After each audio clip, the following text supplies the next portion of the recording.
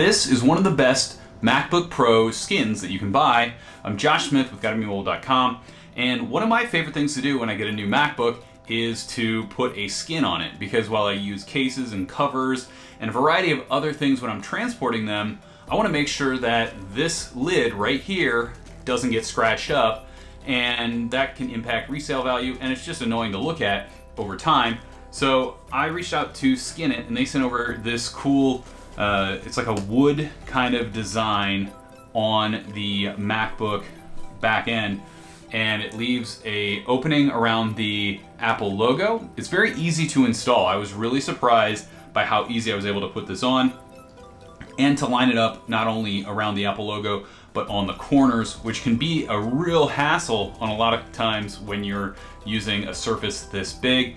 And after several days on, any bubbles that were left underneath disappear. They're easy to uh, smooth out with your finger. I really love this. It's available pretty affordably on Skinit. The only thing I don't like about it is the really small Skinit branding down in the corner. I can understand why it's there. I just would prefer it not be there just to kind of carry through that entire look. You can choose from a wide range of MacBook Pro skins that start around $29.99.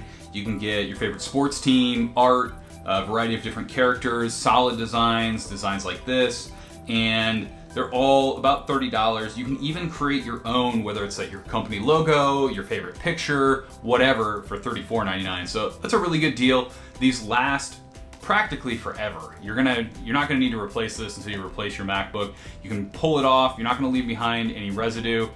You can check this out over at skinit.com. We'll have links down in the description below, and we'll have more on these on GottaBeMobile.com pretty soon.